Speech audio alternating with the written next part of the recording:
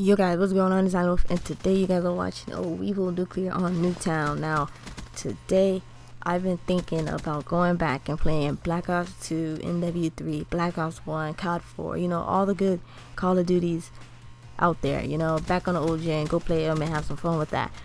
But it's up to you guys if you guys want to see it. Do you want me to upload that? I could go back to Black Ops 2, get those ridiculous gameplay, play sharpshooter, sticks and stones, one in the chamber, which is not in Black Ops 3 I can play zombies, play town, Nuketown. I think I have the DLC maps, but I didn't play them that often, so whatever. Go back and play MW3, get some MOABs, um, COD 4, you know, because they're making the remaster, so I should go back and show you guys more COD 4 so you guys know what's coming up when it drops and everything.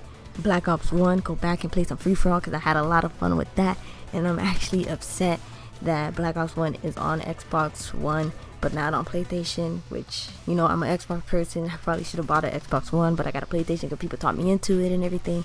Nevertheless, I just, I want to go back and play those games for you guys. I want to have some fun. I want to go back and play those zombie maps, go back and have fun on my favorite Call of Duties and, you know, make my channel a multi-COD channel because Black Ops 3, to be honest, is kind of boring, kind of stale. Like, there's only certain kill streaks you can use in that game and getting nuclears, yeah, that's it. Getting 100 pluses or whatever. I'm not even into 100 pluses because they shoot down my kill streaks all the freaking time. To those of you who get 100 pluses on the regular, like, congrats to you because my streaks get shot down so quickly. It's ridiculous.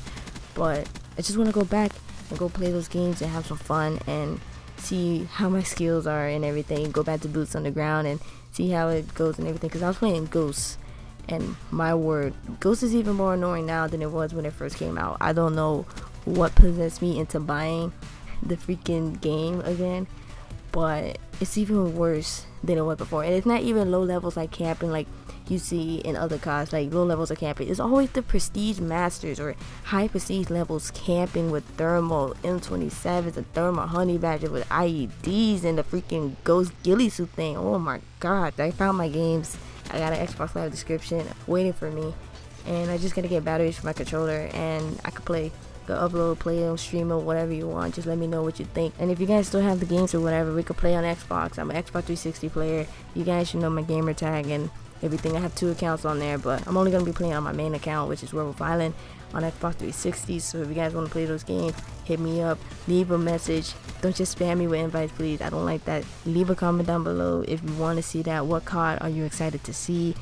Leave a like. If this video gets over five likes, I will go back and upload the older CODs for you guys. So hopefully you want to see that. But nevertheless, hopefully you guys enjoyed this. If you did, make sure you whoop on that like button, subscribe if you're new, and I'll talk to you guys next time. Peace.